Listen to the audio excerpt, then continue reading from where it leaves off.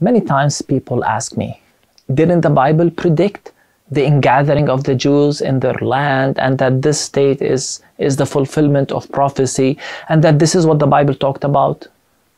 Uh, to answer simply, I ask, let us read the prophets. Let us read what the Bible spoke about.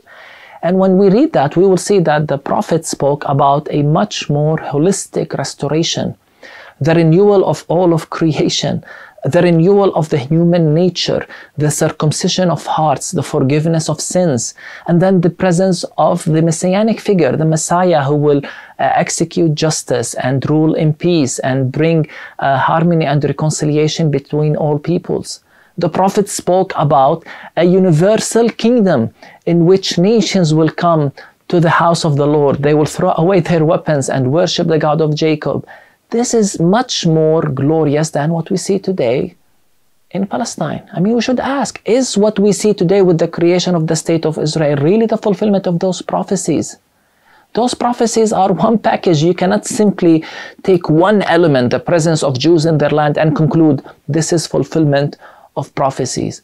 If you take the Bible seriously, you must ask what about the rest of these elements in, the, uh, in, in these prophecies? But more importantly, we must ask how does the New Testament read these prophecies? Did Jesus and Paul refer to these prophecies? And of course, again, the answer is yes.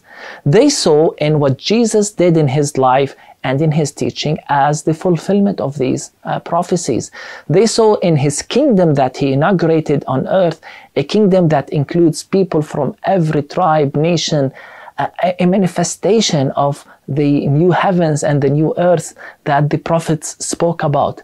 Uh, in other words, we must simply, we cannot simply read these prophets as if Christ did not return. Paul says all the promises of God find their yes in Jesus. Jesus said, reads the scripture because it talks about me, it points to me. And as Christians, we cannot ignore the centrality of Christ in any reading we do of scripture.